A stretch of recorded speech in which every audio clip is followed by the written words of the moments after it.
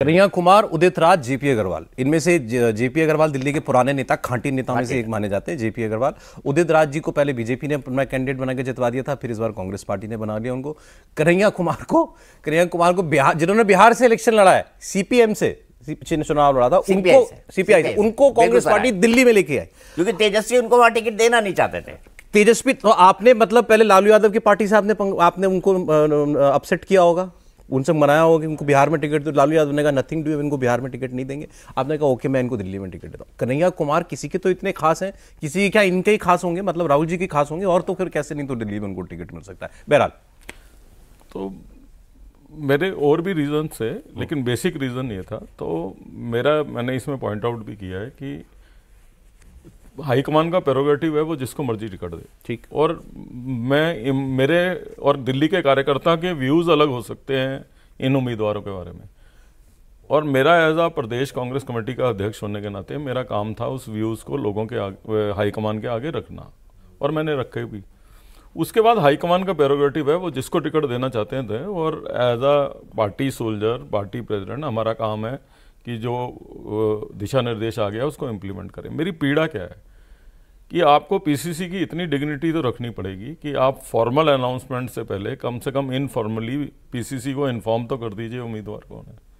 आप वो PCC PCC president आप आपको पता ही नहीं था कि इनकी... जैसे मीडिया में और लोगों को पता लगा ऐसे मुझे पता लगा कि कौन उम्मीदवार है।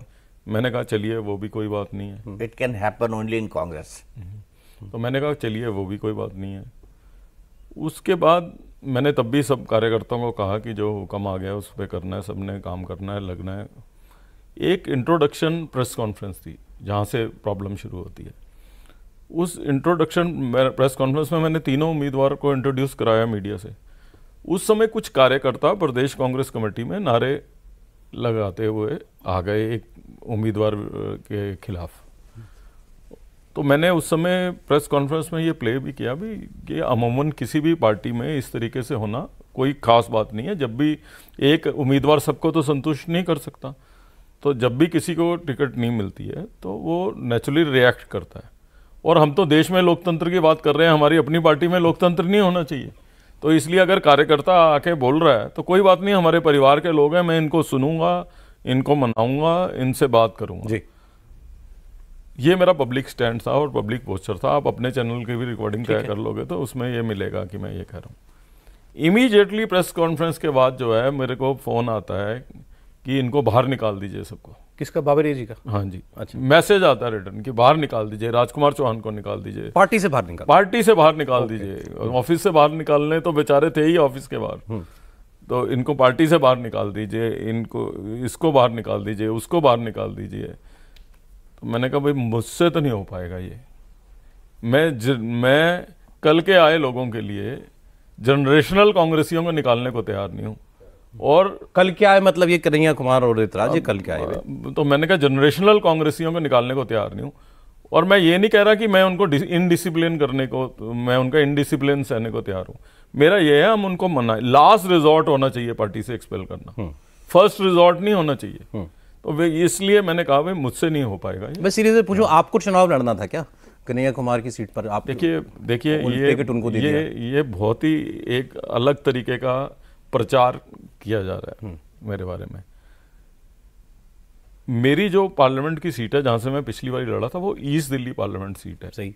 गौतम गंभीर के खिलाफ मैं इलेक्शन लड़ा था वो मेरे खिलाफ जीते थे। और मेरी असेंबली सेगमेंट जो गांधीनगर है वो भी ईस्ट दिल्ली में पड़ती है नॉर्थ ईस्ट में नहीं पड़ती है।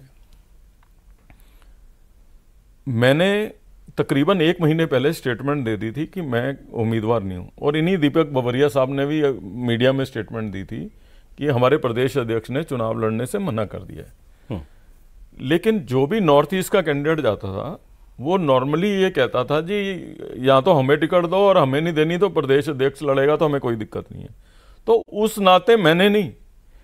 स्क्रीनिंग कमेटी ने जो है मेरा नाम डाल आपका दिया, नाम आगे कर दिया था। कर दिया और मैंने मना किया कि मेरा मैं कैंडिडेट नहीं हूँ। मैंने स्क्रीनिंग कमेटी में भी सीईसी में भी मना किया। व्यूअर की सर, सरलता के लिए जिस सीट पर कन्हैया कुमार को टिकट मिला कांग्रेस की स्क्रीनिंग कमेटी ने पहले नाम अरविंदर लवली का दिया था। सिंगल नाम। एक ही नाम मतलब उसमें कोई दूसरा नाम बाकी सीटों पर तीन तीन नाम और मैंने मना करा कि मुझे नहीं। ठीक तो इसलिए तो ये कहना कि मैं टिकट नहीं मिलने से नाराज़ हूँ आपका चलिए आपने तो खुद अपना नाम विड्रॉ कर लिया। कन्हैया कुमार का नाम कहाँ से आया? ये तो अपने आप में गुत्थी है मैं भी नहीं सुलझा पाया हूँ अभी तक। किसकी पसंद है कन्हैया कुमार? अब ऊपर के लोगों की होगी। ऊपर मतलब कौन? कौन? अब अब आप इशारों में बता दीजिए। अरे नहीं इशारों में नहीं बता दीजिए। अब ऊपर में तो आप जितनी जानकारी आपको है उतनी की मुझे है।